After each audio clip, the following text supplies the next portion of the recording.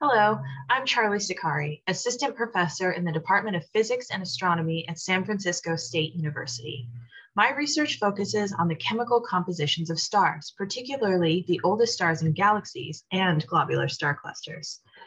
I use this information to investigate chemical nucleosynthesis, which is how the elements form, and to probe the assembly histories of galaxies, including the Milky Way.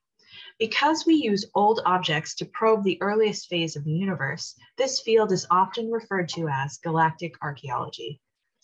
I am interested in pursuing collaborations with others who are working in experimental physics or chemistry, particularly those who investigate the nucleosynthesis of the heaviest elements in the periodic table. I would also be interested in pursuing collaborations with those of you in computer science, mathematics, or statistics, since much of my work requires data processing and automated analyses. I am also a founding member of a group called Astronomers for Planet Earth and the associated Education Working Group. I'm interested in collaborating with others on curating and developing educational resources related to teaching about climate change, particularly focusing on solutions. Thank you.